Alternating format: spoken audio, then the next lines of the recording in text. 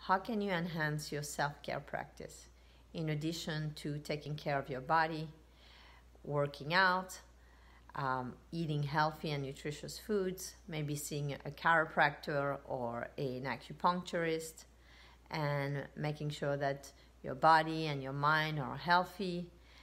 Also, meditating, maybe.